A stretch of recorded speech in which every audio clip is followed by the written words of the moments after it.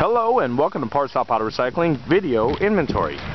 We're looking at a 2007 Dodge Pickup 1500. This is a mega cab, Hemi motor. It's got a 5.7 liter.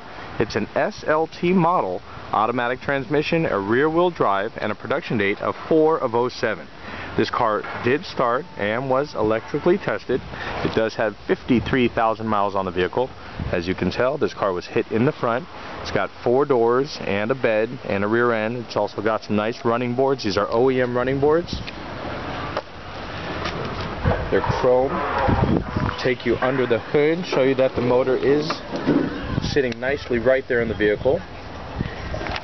We'll take you around the vehicle, and for any additional information on this car, you can visit our website at www.partstop.com, and that will conclude the video portion for this vehicle. Thank you.